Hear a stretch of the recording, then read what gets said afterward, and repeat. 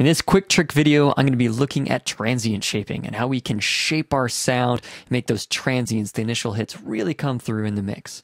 Now, this audio effect rack is going to be for free by donation on my website, subaqueousmusic.com.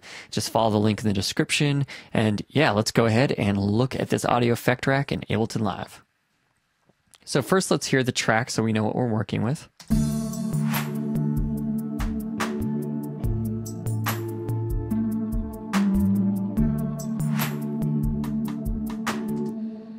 It's good, but I'm having a little trouble with that kick coming through the mix. So we're going to solo that and hear it.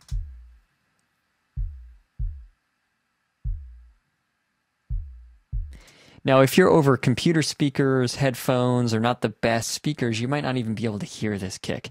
And that is exactly the problem I'm having. I want it to come out a little bit more, be a little bit more punchy. Now you can do this with, right now I'm using a MIDI track that has a kick synthesizer, but you can do this with samples or anything. And I have this audio effect rack that I built. So I'm going to turn that on. The first setting we want to look at is the threshold, which helps us see this line here. And we want to make sure that it's basically about when it initial hit happens. We don't want a lot of this tail end down at the bottom to bring it all the way down. We want just that kind of initial hit. Once we have that, our transient gain, this brings up that initial transient. Now, how I'm doing that is by setting this compressor as expand. So expand means when it's when it's above this threshold, it begins to push the sound, making it louder as compared to pushing it down and make it quieter. It's a different way of using a compressor. So now we can see this line up there pushing up that sound, so we're getting more of that transient. And then I also have a release, which is how long after that transient does it kind of slide back down. I want that somewhere in the middle. So already we're starting to get more of a click sound out of this, which is exactly what I want. But I've added another technique to this to really bring out the, the qualities that I want from this kick and that is right down here. So with these three, we have a crossover. I'm going to open up this audio effect rack. So we have this crossover, which basically I have two different chains. I have a mid-high and a low, and I'm using a multi-band right here, and this amount on the low, which is mapped to both of them, is what's being used as a crossover.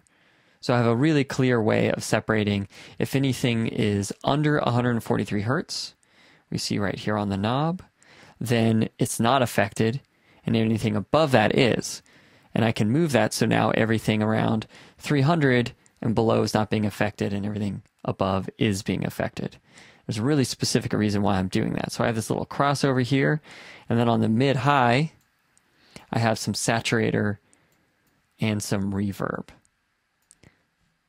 So what happens is now that I have it about here, the 148, everything above that is being affected. And then I have this drive amount for the saturator. And what that means is we're just driving the top end, we're not driving the bottom. So if I move this, that's doing the whole sound, but I just want kind of the top end of that kick.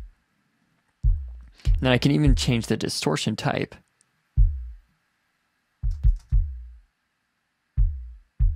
To make it come through the mix a little more. Now let's hear that in context.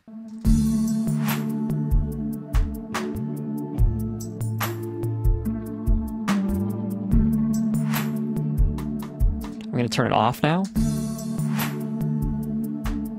You can tell it's coming through a lot more with this transient shaper on, so I'm going to turn it on.